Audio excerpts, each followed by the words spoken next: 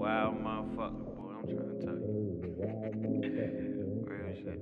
Yo said, yo said, yo just walked up like, what's up? And then yo fucking, yo fucking walked out the lunchroom, took his shirt off, get to saying, mop, mop, mop, mop, mop, mop, mop. You feel me? Dumb shit. Hey. Rubber bands around my wrist cause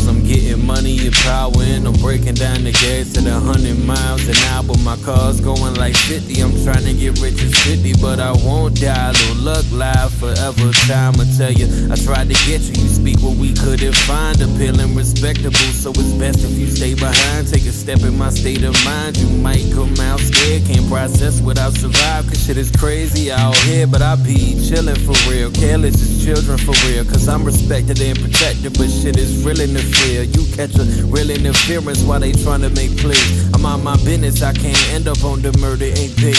As I scroll through my Instagram, all I'm seeing is people posing with captions like, man, what happened, man? Please pick up your phone. And the problem is shit is normal, man. We must be numb. My IQ like 147, my mans call me dumb. See where I'm from, you gotta move smart and hope for the best.